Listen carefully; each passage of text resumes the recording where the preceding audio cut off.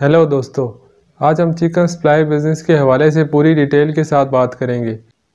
यानी हम आपको बताएँगे कि चिकन सप्लाई बिज़नेस के लिए कितनी इन्वेस्टमेंट की ज़रूरत होगी और चिकन सप्लाई के कारोबार में प्रॉफिट मार्जिन कितना है। इस वीडियो को पूरा सुन लें ताकि आपको पूरी इन्फॉर्मेशन मिल सके।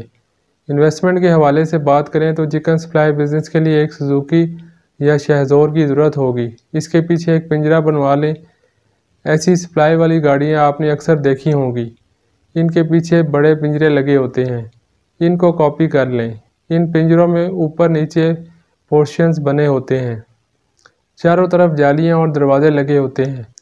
एक पेट स्केल या कांटे की ज़रूरत होगी। इस पर चिकन का वज़न करते हैं और सप्लाई करते हैं। प्रॉफिट मार्जिन या मुनाफा आपको फ़ी किलो 10 से 12 रुपए होता है। इस तरह मन या 40 किलो पर 400 रुपए बन जाता है। जितना माल आपने सेल किया, इसके मुनाफे का हिसाब कर लें। इसमें से गाड़ी का पेट्रोल, मुलाजम की तनख्वाह, खाना पीना सब खर्चे निकाल दें तो इस आपका खालिश मुनाफा बन जाएगा।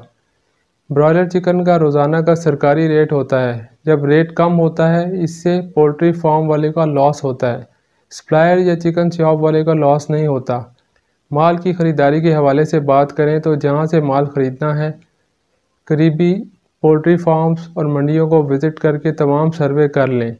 और जहाँ फ़रोख्त करना है, सारी मालूम इकट्ठी कर लें। आप डायरेक्ट पोल्ट्री फार्म या मंडी से माल उठाकर chicken shops, marriage halls, restaurants, hotels, hostels और बेकरीज़ को सप्लाई कर सकते हैं। इसके अलावा पोल्ट्री फार्म से उठाकर मंडी में भी आप फ़रोख्त कर सकते हैं। जब काम बढ़ जाए, तब आप अपने साथ हेल्पर्स और ड्राइवर भी रख सकते हैं, मगर शुरू में ख़ुद ही काम करें तो बेहतर है। गर्मी के मौसम में सुबह या शाम के ठंडे टाइम में माल एक जगह से दूसरी जगह ले जाना होता है। सर्दी के मौसम में ये प्रॉब्लम नहीं होती, ज़्यादा माल भी इकट्ठा बैठ कर चला जाता है। जहाँ आप अपनी गाड़ी खड़ी करते हैं, वहाँ आपके पास कमरा या जगह होनी चाहिए। कई बार जब रेट बढ़ रहा होता है, आप माल स्टोर कर सकते हैं और अगले दिन सेल कर सकते हैं।